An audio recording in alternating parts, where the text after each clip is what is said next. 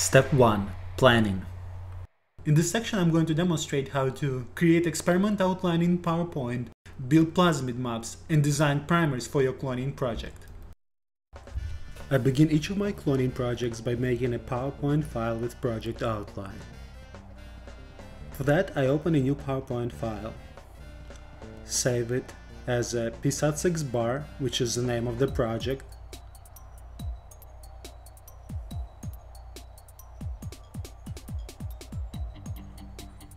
Then I change the layout to my favorite,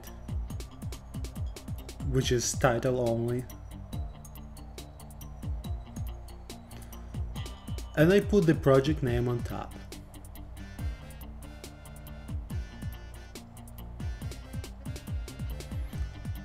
On this slide I also put the name of my starting plasmid, which is PSAT6 MCS.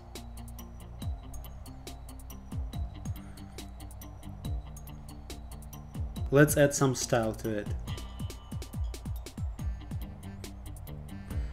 Then I draw a down arrow and add some style to it as well.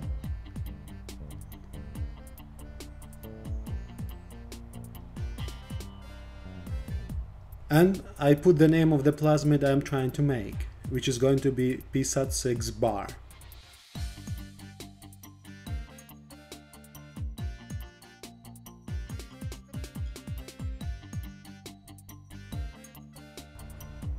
Also on this slide I want to have a name of my PCR template, which is the plasmid called PFGC5941.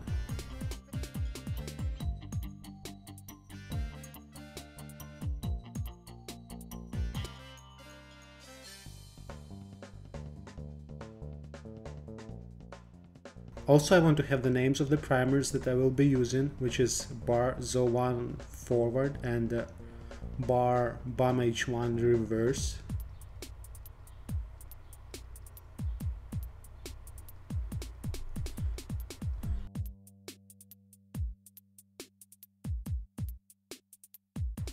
Here I will draw another arrow indicating that the PCR product will be inserted into PSAT6 MCS.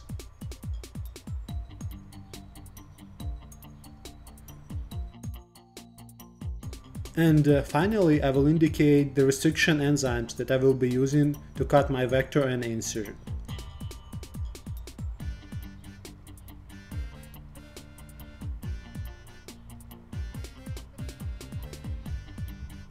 Because a usual cloning project goes on for several days, and in some cases you would be running several of those projects at a time, I would recommend printing out this page and keeping it somewhere next to your bench, so when you come back to your lab in the morning you know exactly where you left off. Let's move to the next part of the planning stage, which is building vector maps and designing primers. The software package I will use in this chapter is VectorNTI from Invitrogen. In supplement 3, which is at the end of this video, I will demonstrate how to do exactly the same vector map design with the free software pdraw32. I start with two browser windows, one displaying the sequence of PSAT6 MCS, another sequence of PFGC5941. I launch VectorNTI Explorer, which keeps track of all the maps I have in the database.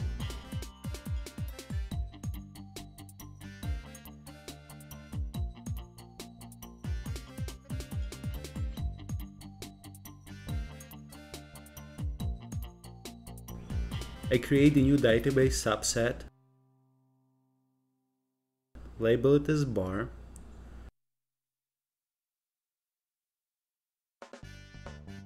and click on this icon which says new. I label molecule as a PSAT6 MCS, indicate that it is circular, and open Edit Sequence window.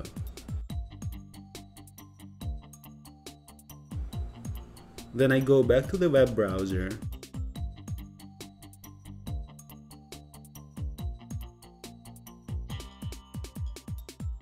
Select and copy the sequence of PSAT6 MCS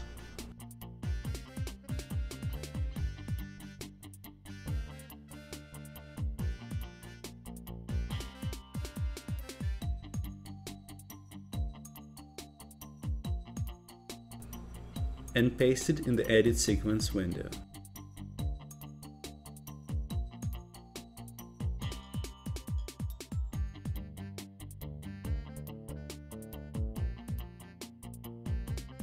Let's look at this sequence in Vector NTI.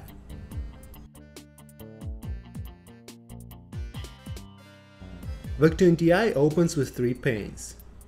On the top right you see the map, on the bottom is the sequence, and on the top left is the information about the molecule. If you click on the restriction methylation folder, you will see the list of all restriction enzymes currently displayed on the map. Now let's add the features of PSAT6 MCS to this map. For that I click on Add Feature, switch to the web browser window and change the view to Feature Table.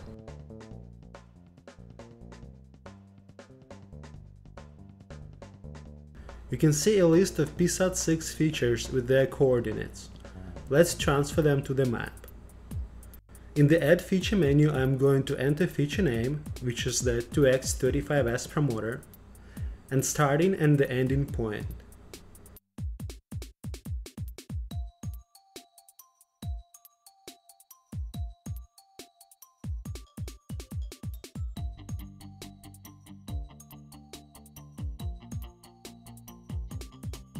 In the Vector NTI, I could also pick up different feature types, which reflect how the features are displayed on the map. What I especially like about Vector NTI is that as, as I'm adding those features, I can see them both on the map and on the sequence. Now I will proceed adding the rest of the features, namely MCS, Terminator, and ampicillin resistant gene. Again, I get all the information about feature locations from the PubMed nucleotide file.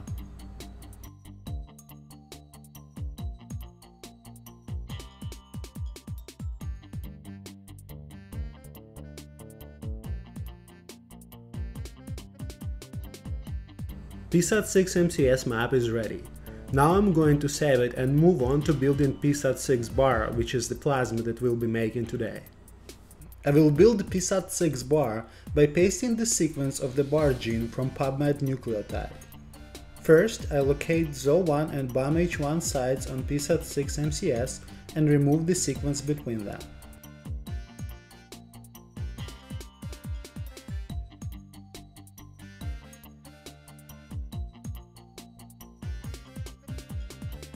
Then I will go to the PubMed nucleotide and locate the sequence of the bar gene. When I scroll down and look in the annotations, I can see that the bar gene is located on the reverse strand in the positions 373 to 924. To make life a little simpler, I will use the PubMed tool called Change the Region Shown.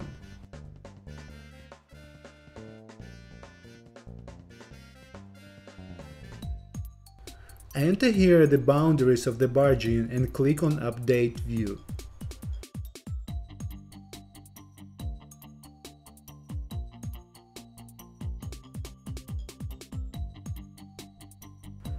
Now, if I scroll all the way down, you can see that the sequence of the PFGC5941 reduced to about 500 base pair region, which is the bar gene.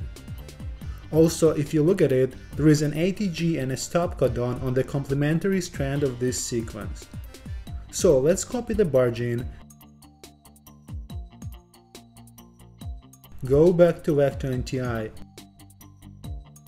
and paste this sequence between ZO1 and BAMH1 sites of PSAT6 MCS. Because the bar gene is located on the complementary strand, I need to reverse the pasted sequence which can be done by going to File, Molecule Operations, Advanced, Reverse Selection.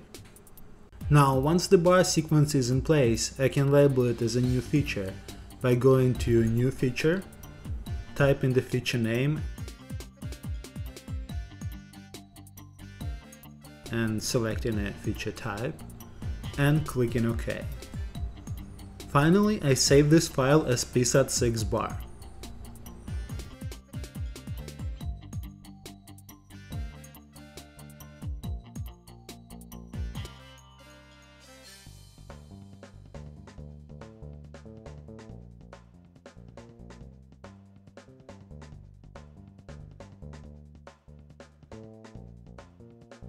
Now I'm going to design PCR primers for cloning the bar gene into PSAT6 MCS.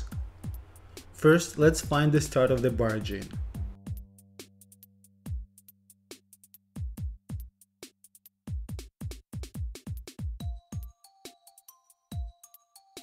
For the forward primer, I'm going to select the first 20 nucleotides of bar. You can see the number of selected nucleotides right here at the bottom of the Vector NTI window. So I'm going to select the first 20 nucleotides of bar along with ZO1 restriction site and 6 nucleotides after it. Those 6 nucleotides are necessary for ZO1 cleavage close to the end of the PCR fragment. That's it, this is my forward primer. I'm going to copy it and submit it to Oligosynthesis company. To design the reverse primer, I'm going to scroll down to the end of the bar sequence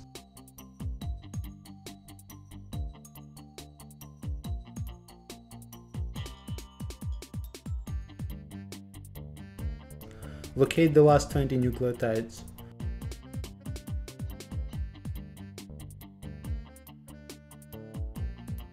Select those 20 nucleotides along with BAMH1 site and additional 6 nucleotides for BAMH1 cleavage close to the fragment end. Since this is the reverse primer, I need to invert it. For that I go to Analysis, oligoanalysis, thermodynamic properties, and select complementary. This is the sequence of my reverse primer. I'm going to submit it to Oligosynthesis company along with the sequence of the forward primer. If you never built the plasmid maps before, you might feel that it's just a hassle that you would rather avoid. But once you get used to having a clear picture of your construct and access to every little feature of the map, you would never want to walk in the darkness again.